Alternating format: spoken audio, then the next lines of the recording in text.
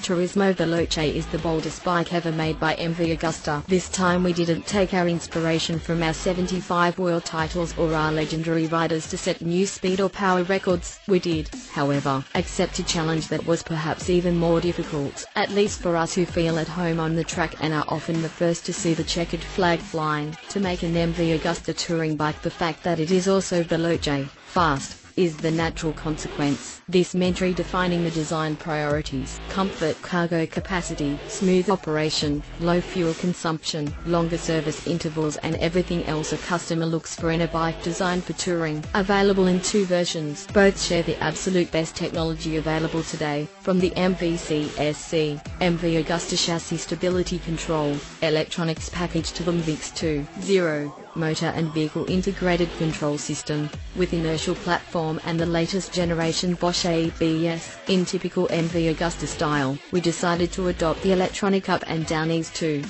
gearbox available on all the engine maps. Even on this touring bike, the overall innovation of the design also comes through in the details such as the full LED light clusters, the color instrumentation with T technology, built-in Bluetooth device to allow up to 9 different devices to be paired, the immobilizer, two USB sockets and two 12 volts power points. The Lusso, luxury, version takes the technical level of the Turismo 800 even higher with electronically controlled semi-active suspension as standard equipment, as well as heated hand grips, a center stand and built-in Jeep sensor.